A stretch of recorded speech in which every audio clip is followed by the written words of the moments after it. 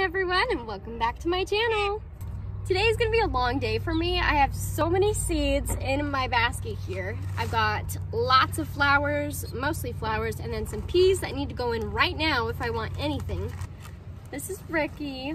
She's, she's here to be a little garden companion. Plant those up really quick and then we will get to doing the flowers. Hopefully we'll have enough time because I have a lot of flowers. So nice sound, huh? hmm? You like my hat? Yeah. Okay, let's go. Zinnias came back up. And by some, I mean like almost all of them, so that's great.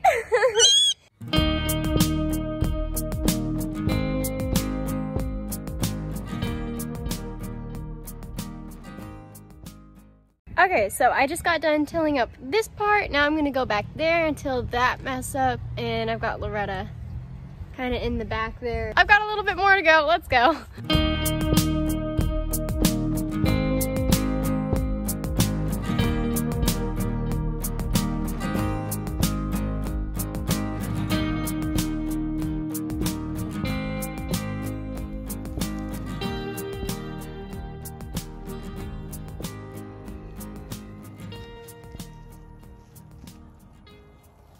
Okay, y'all, so I finally got around to be able to plant these seeds today, and that was a lot of work, tearing up all of that land, but it turned out great. So now we're gonna focus on the seeds. I have two different size trays. Let me show you. So the first tray I have here is a bigger cell. It's got like 72 cells or something. And then underneath we have 100 or something cells, which are much smaller for the smaller seeds.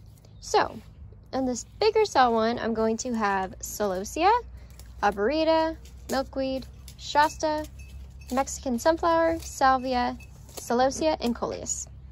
Oh, and amaranth.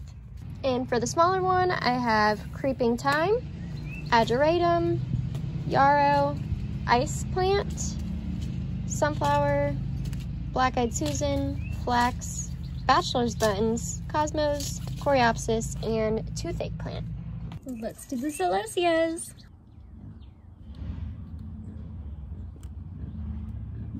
The milkweed.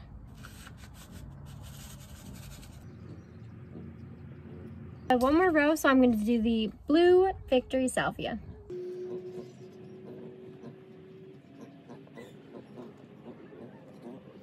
Okay, I'm going to water this and that'll be good for these. Next up, we have the 100 pack. Oh boy. Arboreta, toothache flower, all right, y'all, I'm losing some light, so I'm gonna plant all of the rest of these up and I'll see you tomorrow. Hey y'all, and welcome back. It is day two and I have finished all of my seedlings. As I was saying, I have coleus, bachelor's buttons, yarrow, passion flower, and what else? I think that's all. If y'all have any questions about what I did today, seed depth, when to start, feel free to leave them in the comments and I will get back to you yeah, I will be having another video up real soon about vegetables because I still have tons of vegetable seeds to plant. So that will be coming soon. Thanks for watching, y'all. Bye. Whoa. Where are they going? Important duck meeting, I guess.